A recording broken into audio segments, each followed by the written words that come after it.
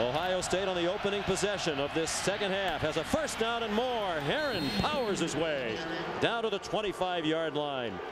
Taken down by Brett Greenwood. Senior safety in his last home game out of Bettendorf, Iowa, came here as a walk-on and has started 45 games for Iowa. Well, that's just a good job by the by the Boren brothers. Left guard, just good power, and then Zach, the fullback, right behind him, and then Herron follows the lead.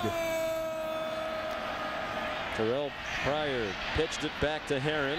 One yard.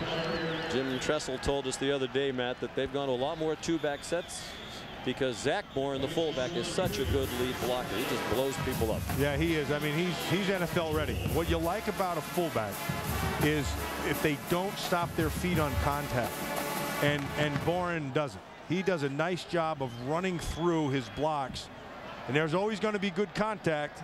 And because he keeps his feet moving, he generally wins those battles. First brothers Zach and Justin to start in the same game for Ohio State since the Sullivans, John and Mike back in 1988. 10th play of the drive for the Buckeyes. Second and nine. Looking for a go-ahead touchdown. Pryor goes for the short throw to Stoneburner. Hawkeyes.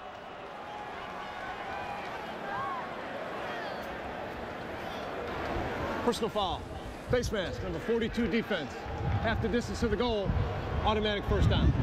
On Hunter, another senior playing in his final home game and making his 35th career start. No question about the call. That's a good call. Watch 89 Reid Fragel. 88 rather, I'm sorry.